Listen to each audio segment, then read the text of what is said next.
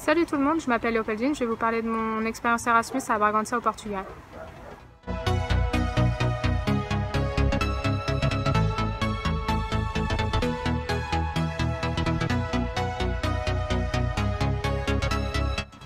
C'était un véritable défi pour moi de me retrouver dans un environnement inconnu où les gens parlaient une autre langue loin de mes repères. Je me suis lancée, j'ai eu un tas de conseils pratiques de la part de mon référent Erasmus à Bragança pour le logement, pour des cours de portugais. Euh, par exemple, il y a Reiki Victor qui vous contactez, il vous trouve un logement. Euh, euh, j'ai commencé à prendre contact avec elle et l'université au mois de mars et ils ont répondu à toutes les questions que je me posais par rapport au logement, au stage, toutes mes inquiétudes.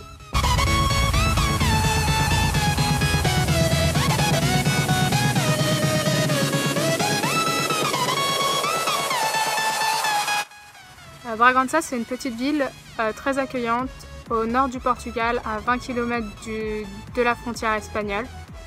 C'est une ville chaleureuse où il fait bon d'y vivre. Tous mes voisins étaient gentils avec moi. Quelquefois, ils me ramenaient de la nourriture portugaise. Je pense que 300 voire 400 euros maximum pour vivre, sortir, faire quelques activités, manger les spécialités, c'est largement suffisant. Euh, c'est pas une ville très chère.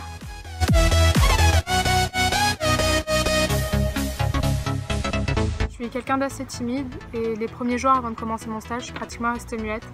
Euh, tous mes repères étaient bousculés.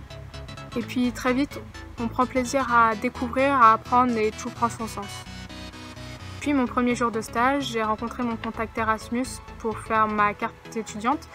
Et ensuite, euh, j'ai rencontré mon contact de l'université de santé qui m'a accompagnée à mon lieu de stage. Le système de santé est à peu près pareil qu'en France dans mon service, mais dans les autres services, j'ai pu voir qu'il y avait un énorme contraste. J'ai eu la chance d'avoir, euh, lors de mon stage, un tuteur qui parlait français, mais la langue primordiale, c'est toujours le portugais, tout le monde se parle en portugais. Il y a quelques personnes qui, qui parlent anglais, les médecins et quelques infirmiers, mais très peu. Cependant, j'ai très bien été intégrée à l'équipe, malgré la barrière de la langue.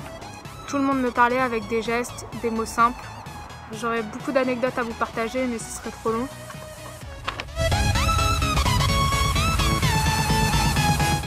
Lors de mon stage, j'ai appris énormément au niveau des gestes techniques. Ici, la plupart des infirmiers ont une spécialité et euh, ce stage est réservé aux étudiants de quatrième année. Mes objectifs de stage que je m'étais fixés, je pense les avoir atteints, même les avoir dépassés. J'ai pu voir le soignant que je veux être une fois diplômée.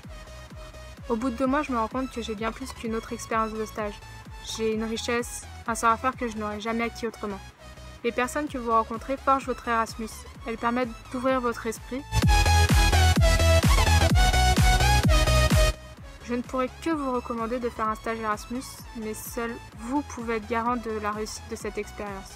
C'est en s'ouvrant aux autres cultures que l'on apprend à s'ouvrir un peu plus au monde.